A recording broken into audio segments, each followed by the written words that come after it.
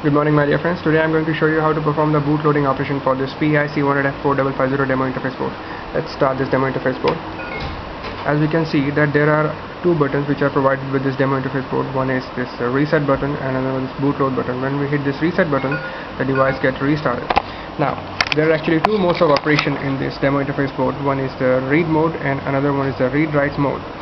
By default when we start this demo interface board it goes into the read mode for performing the boot loading operation that is to write the program into this demo interface board we have to set it to the read write mode. Let's see how we get into the read write mode. Now by default these two LEDs are flashing. Now for going to the read write mode all we have to do is to press this reset button then we hit this uh, boot load button.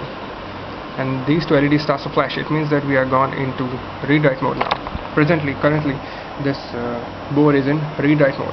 Now we can start the software in our computer end and then we can load the program into this demo interface board. After we are done with loading the program then we again hit the reset button and the normal LED starts to flash. It means that we are in the read mode now. Let's do it again. To go into the read write mode we hit the reset button we hit the bootload button and these two LEDs starts to flash. It means that we are in the read write mode.